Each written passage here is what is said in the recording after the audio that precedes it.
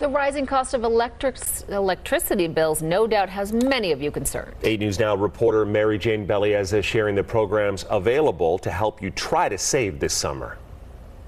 Like many others across the valley, Chanel Jamerson is worried about the rising cost of bills, including electricity. So I live in Summerlin, and before, well, before I had him too, it was only like probably 60 bucks per month, and now it's like probably 150. Jamerson has been trying to save money as electric bills are expected to spike this July. A document submitted to the Nevada legislature shows ratepayers in southern Nevada are paying 54.2% more for power than they did in 2021. Even the last year, it was still like probably what $20 less or something, but it's still up. The hike is partly due to the rising cost of natural gas prices. Nevada Consumer Affairs is reporting the average electric bill to be around $470 by midsummer. Marissa Shoup, the director of resident services at Nevada Hand, knows how costly bills can get for their residents, as the nonprofit helps provide affordable housing for low income communities across southern Nevada. We also know that about average household spends about 3% uh, of their monthly cost on energy bills. Uh, but for low income households, it's about 6 to 10%.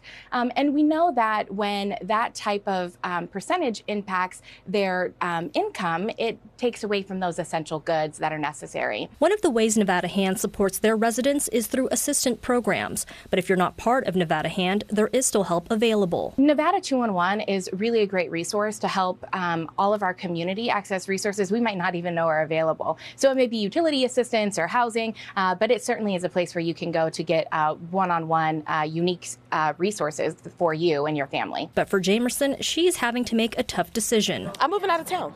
Everybody coming out of here, I'm moving out of town. That's why I'm going Friday. You moving to? I'm going to Indiana. Because everything's so hot. Yeah, it's ridiculous. Yeah, it's ridiculous. I just, I rather, I rather go out there. Everything's much cheaper. The cost of natural gas also going up. We do have a link to energy assistance and gas assistance programs on our website at 8newsnow.com.